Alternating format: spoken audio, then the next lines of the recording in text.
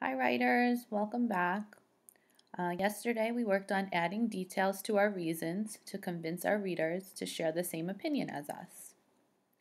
Today we're towards the end of our book, so we're going to be writing our conclusion page or our ending page. Writers keep their readers thinking and they say goodbye on this ending page by first repeating their opinion, then repeating their big reasons for the opinion, and by lastly telling the readers to go and do something, like try it. So today we're going to be working on following these three steps to write our conclusion page or our ending page for our opinion books. So in your packet, the ending page says ending on top. Um, when I sketched across my pages, I showed like a little picture of Prospect Park and I wrote Prospect Park is so much fun to help me remember. So the first thing I have to do is repeat my opinion. Okay, so what was my opinion again? Well, the whole book was about how I think Prospect Park is the best place to have fun. So now I just have to rewrite it. I think Prospect Park is the best place to have fun. Yeah, that was what my whole opinion piece was about. Right, so now I did my first thing. I repeated my opinion. See how I highlighted it on this page for us? The opinion was in yellow, so I highlighted it in yellow. I think Prospect Park is the best place to have fun.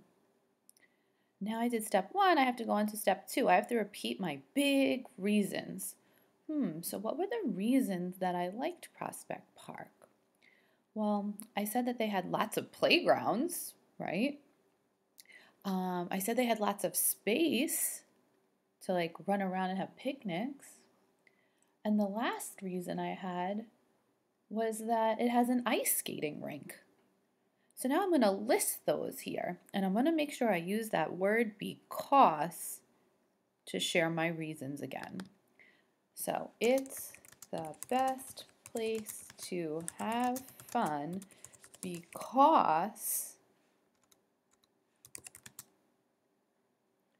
It has fun playgrounds, comma, remember I'm listing my reasons. It has lots of space and it has an ice skating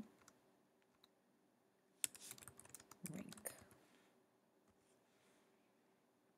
So did you see how I repeated my big reasons here? I listed them. I used that word because, and then my reasons were it has those playgrounds, it has space, and it has that ice skating rink. And those reasons here match the reasons that I wrote earlier. All right, one more step to do, but before I go on to that step, I want to see you how I highlighted it here. So it's the best place to have fun because it has lots of playgrounds. It has, oops, supposed to be has, so much space, and it has an ice skating rink. All right, one last step. Tell the readers to do something. So here we can say like, you should go to Prospect Park or go to Prospect Park. So let me see. Hmm. I'm going to say, you should go have fun at Prospect Park. Yeah, I think that's going to convince my readers. You should go have fun at Prospect Park. Hmm. And I know some of your teachers have taught you you should also rate it. So I give it five stars.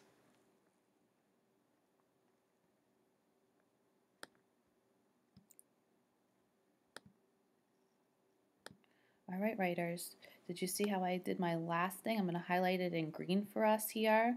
I had to tell my readers to do something, and then I know many of us have learned already to rate our work. So I told my readers, you should go have fun at Prospect Park. I give it five stars. All right, readers, it's going to be your turn. Writers, it's going to be your turn now to go and write your ending page. Remember, the first thing you have to do is repeat your opinion. The next thing you have to do is repeat your big reasons and list them. And the last thing you have to do is go tell your readers to do something, like try it. All right, take out your packets. Get started.